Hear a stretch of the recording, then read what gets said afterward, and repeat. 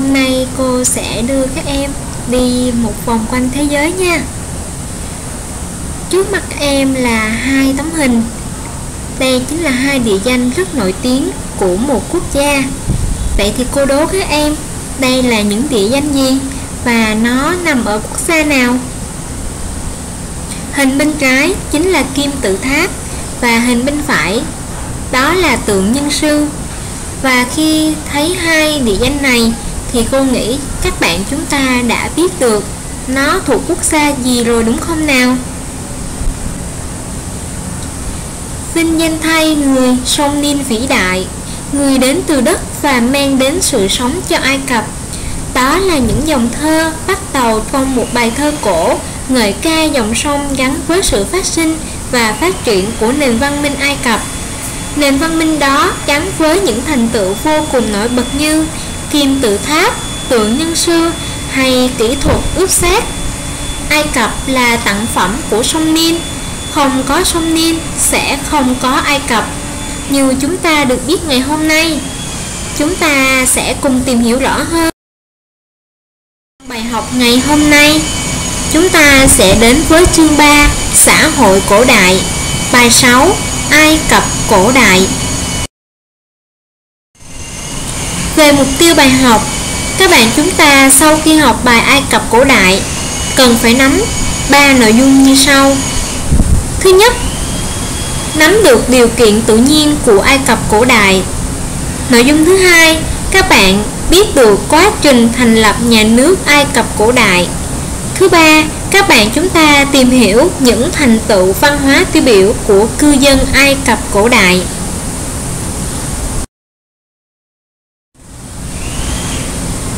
Cấu trúc bài học, các bạn chúng ta sẽ có 3 La Mã và tiết học ngày hôm nay, cô sẽ giảng cho các bạn phần 1 và phần 2 La Mã đó chính là về điều kiện tự nhiên và quá trình thành lập nhà nước Ai Cập cổ đại.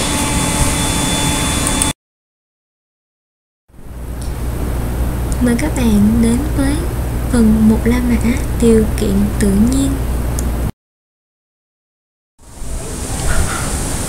Cô mời cả lớp cùng quan sát bản đồ Ai Cập thời cổ đại. Chú ý phần chú giải nằm góc trái của bản đồ. Ai Cập nằm ở phía đông bắc châu Phi, là vùng đất dài nằm dọc hai bên bờ sông Nin. Chúng ta một lần nữa quan sát bản đồ Ai Cập các bạn cùng quan sát hình vuông màu đỏ. Đây chính là vị trí của Ai Cập trên bản đồ của khu vực châu Phi. Sông Nin là một con sông lớn chảy dài từ khu vực địa Trung Hải đến vùng sa mạc Nubian. Đây chính là vùng đất mà người dân Ai Cập đã sinh sống tại đây. Phía Bắc là vùng Hạ Ai Cập, nơi sông Nin đổ ra địa Trung Hải. Phía Nam là vùng Thượng Ai Cập với nhiều núi và đồi cát. Các bạn chúng ta cùng quan sát vùng sa mạc Đông, sa mạc Tây chính là khu vực phía đông và phía tây của Ai Cập.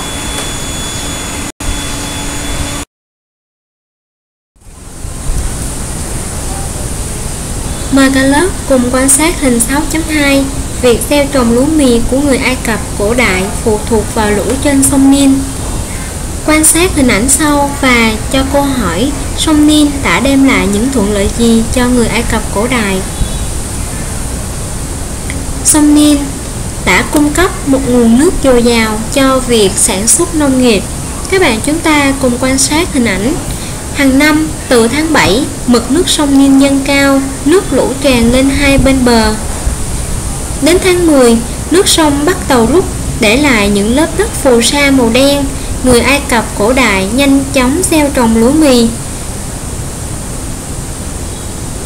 Từ tháng 3, cư dân bắt đầu thu hoạch và tích trữ lúa mì, đảm bảo nguồn lương thực Cho việc sản xuất nông nghiệp thì sông Nhiên còn là tuyến đường giao thông chủ yếu giữa các vùng. Các bạn cùng quan sát bản đồ Ai Cập thời kỳ cổ đại. Dựa vào hướng chảy xuôi dòng từ Nam đến Bắc của sông, người Ai Cập di chuyển và vận chuyển hàng hóa, nguyên liệu từ Thượng Ai Cập xuống Hạ Ai Cập. Và khi di chuyển ngược dòng nước, họ sẽ tận dụng sức gió thổi từ biển vào, đẩy thuyền buồm đi từ Hạ Ai Cập về Thượng Ai Cập dễ dàng hơn. Cô mời cả lớp cùng quan sát hình ảnh 6.3 tranh tường trên lăng mộ Nebamun Thiper 1350 trước công nguyên, miêu tả thuyền đi săn xuôi theo dòng sông Nin.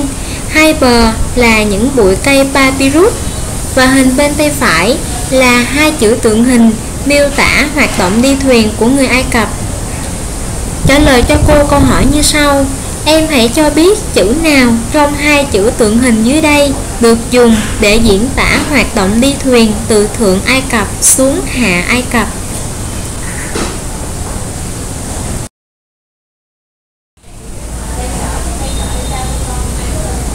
Cô mời các em cùng quan sát lượt đồ Ai Cập cổ đại. Chữ tượng hình 1 diễn tả hoạt động đi thuyền từ Thượng Ai Cập đến Hạ Ai Cập vì dòng chảy sông Nin từ Nam đến Bắc có nghĩa là từ Thượng Ai Cập xuống Hạ Ai Cập và đổ ra địa Trung Hải. Như vậy, thuyền đi xuôi dòng, dùng sức nước, không cần dùng buồm. Chữ tường hình 2 diễn tả thuyền đi từ Hạ Ai Cập đến Thượng Ai Cập vì hướng gió thổi trên sông Nin là từ Bắc đến Nam, gió thổi từ địa Trung Hải vào Chính vì vậy, thuyền sẽ căng buồm để lợi dụng sức gió.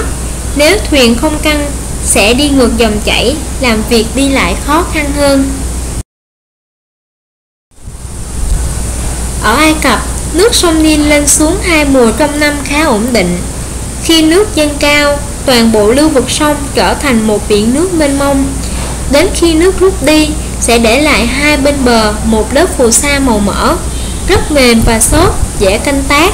Các bạn chúng ta cùng quan sát hình ảnh bên tay trái chính là khung cảnh sông Nin nhìn từ trên cao và hình bên tay phải là hình ảnh người Ai Cập làm nông nghiệp. Các bạn sẽ thấy người Ai Cập họ sẽ dùng những vật nhỏ như cọc gỗ hoặc là công cụ bằng đá để mà gieo cấy trên đất. Họ sẽ chọc những lỗ nhỏ và sẽ gieo hạt hoặc cuốc giới qua loa. Tuy nhiên, sản phẩm thu lại là một mùa màng rất bội thu. Và khi thu hoạch xong thì cũng bắt đầu mùa khô đất phù sa pha cát bị gió mạnh thổi mù trời.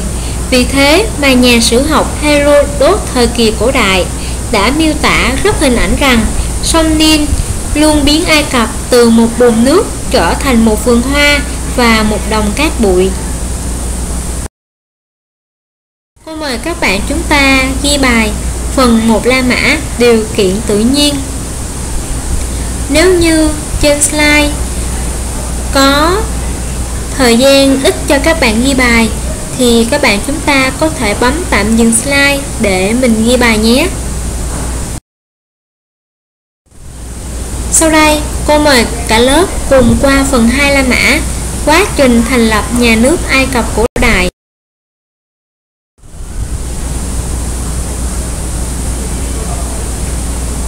Cư dân Ai Cập cổ đại cư trú ở vùng lưu vực sông Nin. Họ sống theo từng công xã.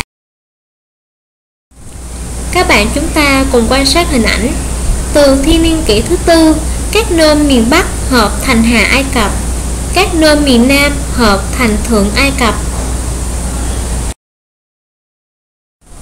Đây chính là hình ảnh miêu tả đời sống lao động của người Ai Cập cổ đại Mời các bạn cùng quan sát hình 6.4 phiến đá Namer khắc tên phu Mơ Hãy cho cô biết quá trình thống nhất Ai Cập cổ đại bằng chiến tranh được thể hiện như thế nào trên phiến đá Namer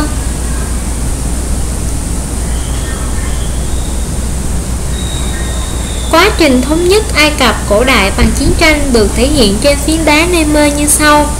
Vua Nemer sẽ đội cả hai phương miện. Vương miện ở Thượng Ai Cập màu trắng, ở Hà Ai Cập màu đỏ. Hình ảnh số 1 chính là hình ảnh mặt trước của phiến đá Nemer. Và hình ảnh số 2 chính là mặt sau của phiến đá Nemer. Và các bạn chúng ta cùng quan sát thì các bạn sẽ thấy trên phiến đá Nemer này có hình ảnh người đàn ông chỉ tay vào một người đang quỳ xuống bên dưới đấy chính là hình ảnh ở mặt 1 và hình ảnh người đàn ông dẫn đầu một hàng quân có vũ khí. Đây chính là hình ảnh ở mặt 2 các bạn chúng ta sẽ thấy hình ảnh phương miệng đôi của vua Ai Cập. Một, màu trắng để thể hiện cho vùng Thượng Ai Cập. Còn vùng màu đỏ sẽ là chỉ cho Hạ Ai Cập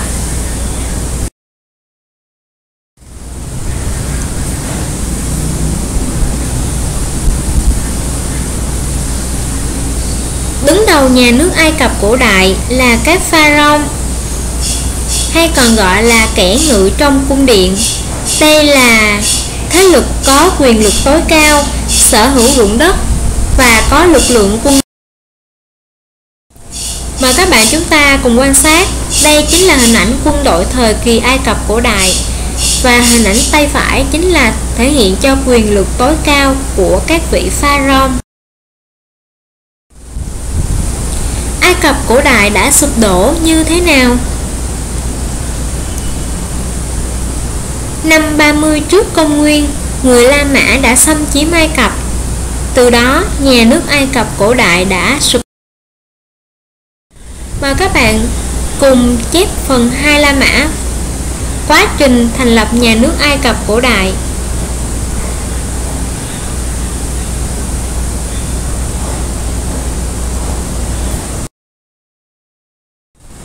Sau đây là đến phần vận dụng. Câu 1 Quan sát lược đồ Ai Cập cổ đại trong sách giáo khoa và nối các ý ở cột bên trái với cột bên phải sao cho phù hợp. Các bạn chúng ta cùng làm với cô. Phía Bắc Ai Cập cổ đại giáp với. Địa Trung Hải. Phía Đông Ai Cập cổ đại giáp với khu vực sa mạc Đông và Biển Đỏ. Phía Tây Ai Cập, cổ đại giáp với sa mạc Tây thuộc sa mạc Sahara.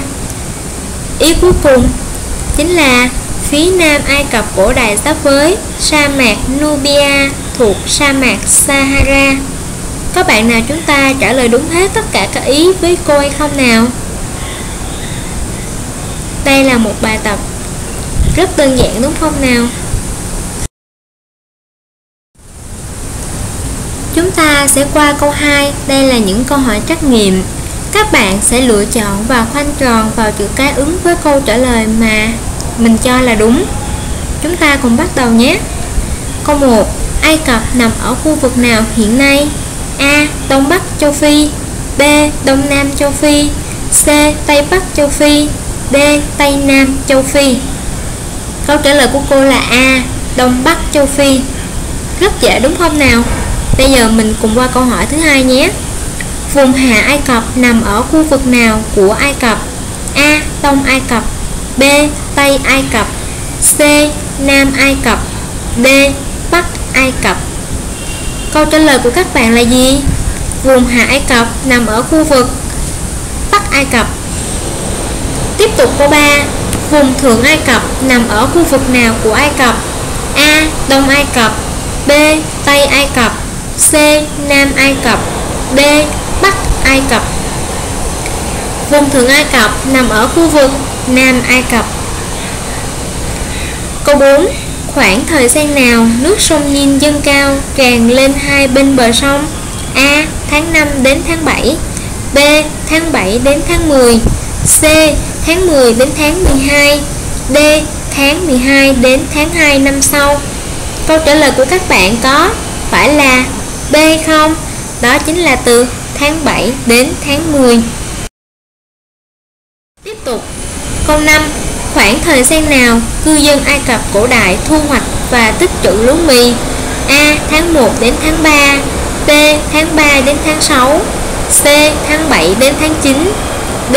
Tháng 9 đến tháng 12 Câu trả lời là B.